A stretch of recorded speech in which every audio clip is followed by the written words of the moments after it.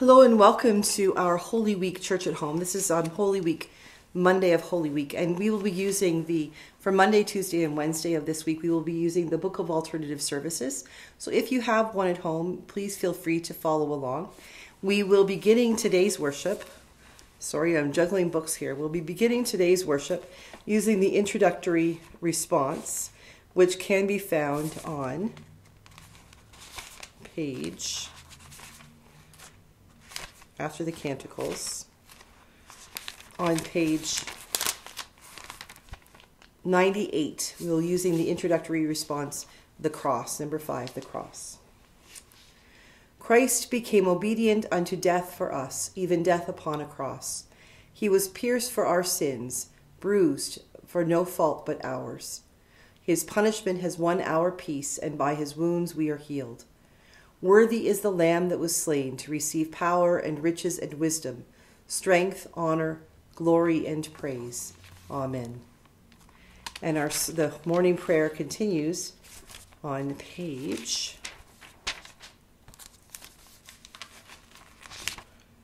forty-eight, forty-nine. We say together the Venite. Come, let us sing to the Lord. Let us shout for joy to the rock of our salvation.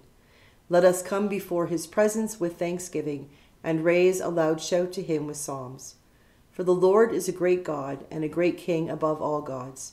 In his hand are the caverns of the earth, and the heights of the hills are his also. The sea is his, for he made it, and his hands have molded the dry land. Come, let us bow down and bend the knee, and kneel before the Lord our Maker. For he is our God, and we are the people of his pasture and the sheep of his hand. Oh, that today you would hearken to his voice.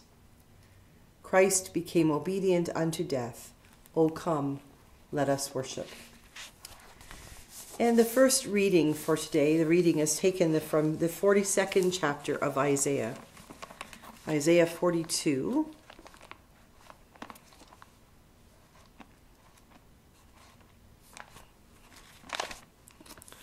Isaiah 42.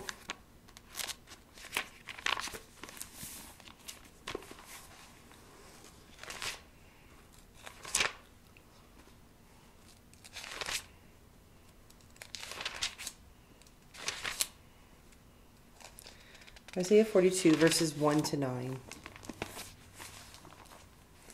Here is my servant whom I uphold, my chosen, in whom my soul delights. I have put my spirit upon him. He will bring forth justice to the nations. He will not cry or lift up his voice or make it heard in the street. A bruised reed he will not break, and a dimly burning wick he will not quench. He will faithfully bring forth justice. He will not grow faint or be crushed until he has established justice in the earth, and the coastlands wait for his teaching. Thus says God the, the Lord, who created the heavens and stretched them out, who spread out the earth and what comes from it, who gives breath to the people upon it, and spirit to those who walk in it. I am the Lord. I have called you in righteousness. I have taken you by the hand and kept you. I have given you as a covenant to the people a light to the nations, to open the eyes that are blind, to bring out the prisoners from the dungeon, from the prison those who sit in darkness. I am the Lord, that is my name. My glory I give to no other, nor my praise to idols. See, the former things have come to pass, and new things I now declare. Before they spring forth, I tell you of them. The word of the Lord. Thanks be to God. The psalm appointed for this day is Psalm 36, verses 5 to 10. It's at 5 to 10, and it can be found on page 348 in the Book of Alternative Services, verses 30, Psalm 36, verses 5 to 10. And we'll say this together, and then we will share in the psalm prayer. Your love, O Lord, teaches reaches to the heavens, and your faithfulness to the clouds. Your righteousness is like the strong mountains, your justice like the great deep. You save both man and beast, O Lord. How priceless is your love, O God! Your people take refuge under the shadow of your wings. They feast upon the abundance of your house. You give them drink from the river of your delights. For with you is the well of life, and in your light we see light. Continue your loving kindness to those who know you, and your favor to those who are true of heart. God of justice and of mercy, open the eyes of sinners that they may see the light of your truth, know the power of your love, and share in the bounty of your heavenly table. Through Jesus Christ our Savior. Amen. The second lesson today is taken from the letter to the Hebrews, which can be found toward the back of your, toward the end of your Bible, here before First Peter. Hebrews chapter 9. Chapter 9, verses 11 to 15. 11 to 15, Hebrews chapter 9. But when Christ came as a high priest of the good things that have come, then, through the greater and perfect tent, not made with hands, that is, not of this creation, he entered once for all into the holy place, not with the blood of goats and calves, but with his own blood, thus obtaining eternal redemption. For if the blood of goats and bulls, with the sprinkling of the ashes of a heifer, sanctifies those who have been defiled, so that their flesh is purified, how much more will the blood of Christ, who through the eternal Spirit offered himself without blemish to God, purify our conscience from dead works to worship the living God. For this reason, he is the mediator of a new covenant, so that those who are called may receive the promised eternal inheritance, because a death has occurred that redeems them from the transgressions under the first covenant. The word of the Lord. Thanks be to God.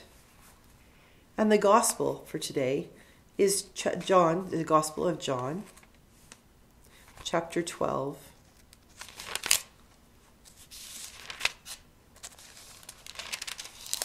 John chapter 12, verses 1 to 11.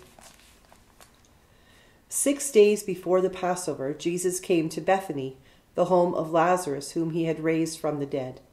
There they gave a dinner for him. Martha served, and Lazarus was one of those at the table with him. Mary took a pound of costly perfume made of pure nard, anointed Jesus' feet, and wiped them with her hair. The house was filled with the fragrance of the perfume. But Judas Iscariot, one of his disciples, the one who was about to betray him, said, Why was this perfume not sold for three hundred denarii, and the money given to the poor? He said this not because he cared for the, the poor, but because he was a thief he kept the common purse and used to steal what was put into it. Jesus said, Leave her alone. She brought it so that she might keep it for the day of my burial. You always have the poor with you, but you do not always have me. When the great crowd of the Jews learned that he was there, they came not only because of Jesus, but also to see Lazarus, whom he had raised from the dead. So the chief priests planned to put Lazarus to death as well since it was not on account of him that many of the Jews were deserting and were believing in Jesus. The Gospel of Christ. Praise be to thee, O Christ. A week ago, Sunday, we heard that gospel without the last two verses about Mary anointing Jesus' feet. So I don't want to talk about that. But I want to talk about the, the Pharisees and everybody being scared of Lazarus and what Jesus has done, had done because people were coming to Jesus, were believing in him because of what they had seen, that Lazarus had been brought back from the dead. I remember, oh, 100 years ago, um, when I was in, I wasn't in seminary yet. I was in my undergraduate degree, and I wasn't present for church, but I heard about it. And uh, we had my, my home church of St. George's in London had um, had a student named Bob, he went on to become a monk, Brother Patrick. But Bob Whiteford was preaching, and he was preaching this passage about La- the passage about Lazarus being dead, and Jesus calls him out of the tomb, and he talks about how after four days he came out of the tomb and they had unwind him from all of the the grave clothes. And you sort of imagine a mummy, you know, the old 70s movies of a mummy coming forward all wrapped in toilet paper. And he talked about this this sense of sense like what Lazarus would smell like after seven after four days of being dead. That's pretty bad. Um, I've done my fair share of funerals before, and when a body is going to be cremated, Um, they often don't do the things to it that would normally be done, you know, for a visitation, things like that. And occasionally, the the the, odor of the body becomes something significant. So it's it's I can only imagine what Lazarus must have smelled like. So for Lazarus to come out of the tomb, now if he'd come out, you know, 10 minutes after he'd been put in, well, well maybe he wasn't really dead. Maybe he was just, you know, it's a trick or something. But after 4 days, Jesus called him back to life. That was a pretty good indicator of how powerful Jesus' magic was that he could raise somebody from the dead, even this man who smelled like death when he emerged. And people began to follow Jesus because of that, because they had witnessed Lazarus coming back to life. They followed Jesus, and the Pharisees and the Sadducees, you know, the powers that be, a little bit nervous about this, that he's getting a bit too much power. Jesus, this Jesus guy's getting a little bit big, big for his britches here. So we know that people were following him because of Lazarus. How much bigger would the power of his own resurrection be?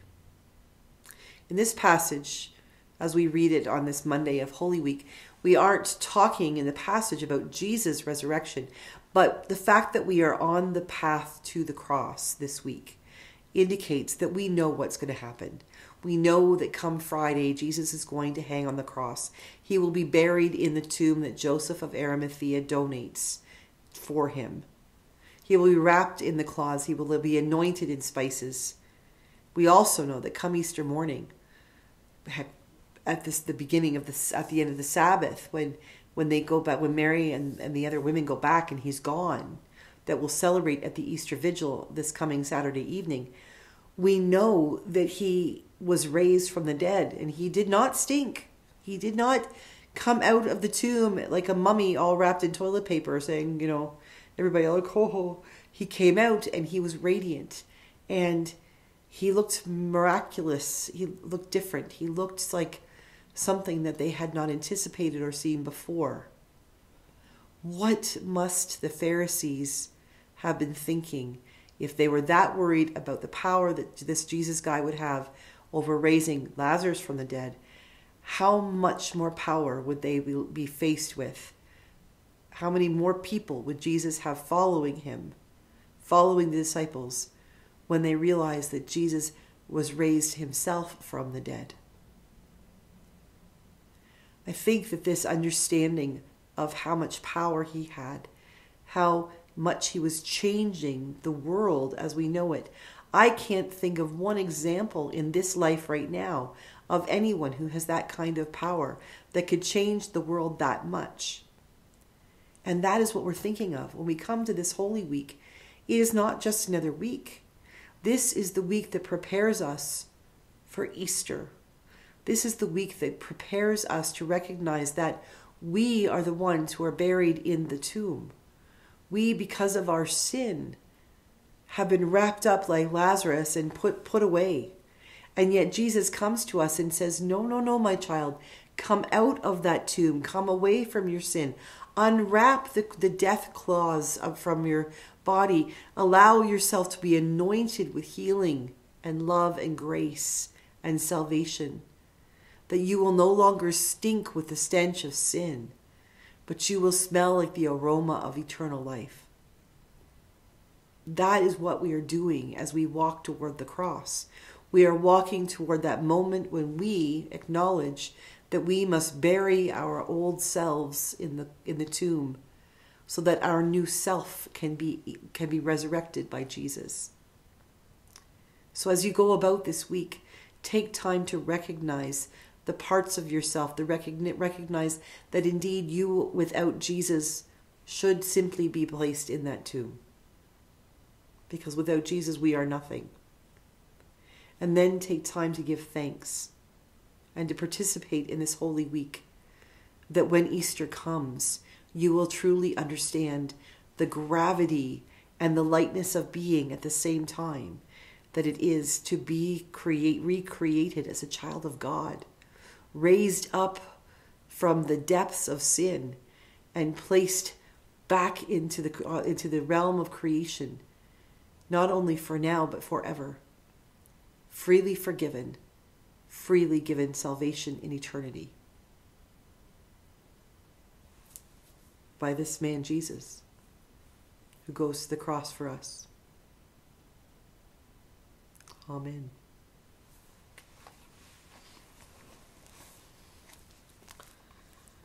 I invite you to turn to page 52 as we share together in the words of the Apostles' Creed. I believe in God, the Father Almighty, creator of heaven and earth. I believe in Jesus Christ, his only Son, our Lord. He was conceived by the power of the Holy Spirit and born of the Virgin Mary. He suffered under Pontius Pilate, was crucified, died, and was buried. He descended to the dead. On the third day he rose again. He ascended into heaven and is seated at the right hand of the Father. He will come again to judge the living and the dead. I believe in the Holy Spirit, the holy Catholic Church, the communion of saints, the forgiveness of sins, the resurrection of the body, and the life everlasting. Amen. We continue with the prayers of the people, and today we will use the Lenten uh, the Lenten um, litany, which is on page 121. Lenten Litany number 14. With confidence and trust, let us pray to the Lord, saying, Lord, have mercy. For the one holy Catholic and Apostolic Church throughout the world, we pray to you, Lord. Lord, have mercy for the mission of the church, that in faithful witness it may preach the gospel to the ends of the earth. We pray to you, Lord. Lord, have mercy. For those preparing for baptism and for their teachers and sponsors, we pray to you, Lord. Lord, have mercy. For peace in the world, that a spirit of respect and reconciliation may grow among nations and peoples, we pray to you, Lord. Lord, have mercy for the poor, the persecuted, the sick, and all who suffer, for refugees, prisoners, and all in danger, that they may be relieved and protected. We pray to you, Lord. Lord, have mercy. For all whom we have injured or offended, we pray to you, Lord. Lord, have mercy. For grace to amend our lives and to further the reign of God, we pray to you, Lord. Lord, have mercy and the collect for today. Almighty God, whose Son was crucified yet entered into glory, may we, walking in the way of the cross, find it is for us the way of life. Through Jesus Christ our Lord, who is alive and reigns with you and the Holy Spirit, one God, now and forever. Amen. I invite you to turn back to page 54, as together we share in the Lord's Prayer, the first printed. Gathering our prayers and praises into one, let us pray as our Savior taught us. Our Father in heaven, hallowed be your name. Your kingdom come, your will be done on earth as in heaven. Give us today our daily bread. Forgive us our sins as we forgive those who sin against us Save us from the time of trial and deliver us from evil. For the kingdom, the power, and the glory are yours, now and forever. Amen. Let us bless the Lord. Thanks be to God. The grace of our Lord Jesus Christ, and the love of God, and the fellowship of the Holy Spirit be with us all evermore. Amen. Have a blessed and gentle Holy Week Monday, and I will see you again tomorrow for Book of our BAS morning prayer for Holy Tuesday. God bless you, everybody.